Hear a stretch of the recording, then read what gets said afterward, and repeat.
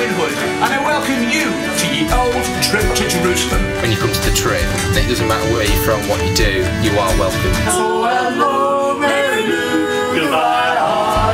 take a trip back in time with us at the oldest inn in England, the place of legends. I bless you, mate. All right, you take it easy, mate, yeah?